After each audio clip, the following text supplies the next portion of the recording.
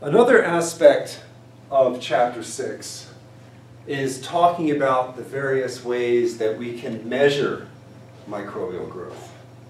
And since microbial growth generally represents an increase in the number of cells, well, we're talking about cellular organisms like bacteria, uh, we can either measure the number of cells and we can do that either in terms of the number of cells that are able to divide or simply the number of cells that are present, um, which we can tell microscopically if we have enough of those cells around. That's the difference between a viable count, number of living cells, and a direct count, um, which is the, uh, the, just the number of cells, whether they're living or dead.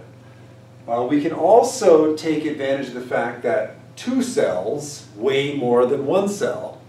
Uh, and therefore, we can measure the increase in uh, the amount of cells in a culture uh, by actually weighing the cells. Typically what this involves is uh, removing the cells from the liquid that they're in and then drying out the cells and actually measuring those cells, so-called dry weight. Uh, also, the more cells that you have, uh, the greater their collective ability to scatter light. And what that means is, is that uh, each cell has a certain amount of fluid turbidity associated with it. The more cells you have present, the greater the cloudiness, the greater the turbidity of the culture. So with more cells, you're going to have an increase in the number of cells, an increase in the number of viable cells usually, uh, an increase in the total amount of mass that's associated with the cells as opposed to associated with the surrounding fluid, uh, and also uh, an increase in the turbidity of the culture. And these various ways of keeping track of what's going on in the culture allows us to keep track of microbial growth.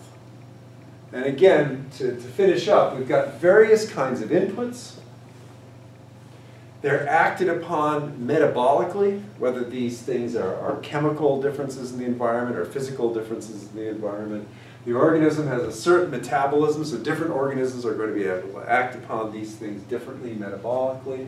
This gives rise to outputs, whether it's waste or survival or growth or reproduction. And we can keep track of, especially growth of cultures, which is a combination of growth of the cells and reproduction of the cells, division of the cells in various ways, uh, which for microorganisms usually means that we're keeping track of, it, of the number of cells that are present, and therefore microbial growth represents an increase in the number of cells.